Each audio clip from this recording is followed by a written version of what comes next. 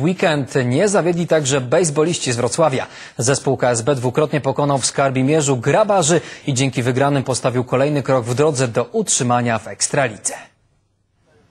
Emocji w rywalizacji naszych bejsbolistów było zdecydowanie więcej niż w bataliach wrocławskich futbolistów. Jak zwykle w ciągu jednego dnia KSB rozegrało dwa mecze z tym samym przeciwnikiem.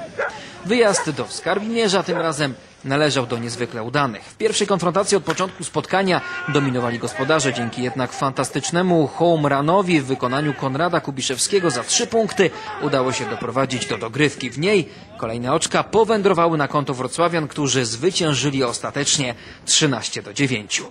Kilka godzin później w rywalizacji numer dwa emocje były nie mniejsze. Znów pierwsze zmiany należały do grabarzy. Jeszcze przed siódmą, ostatnią zmianą zespół ze Skarbimierza prowadził 6 do 1.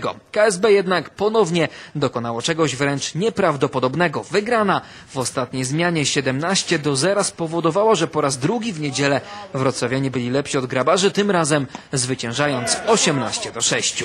Dzięki kompletowi punktów przywiezionemu do stolicy naszego regionu pozostanie w Ekstralidze na kolejny sezon staje się coraz bardziej realne. Za tydzień KSB podejmą przed własną publicznością mocną Silesię Rybnik.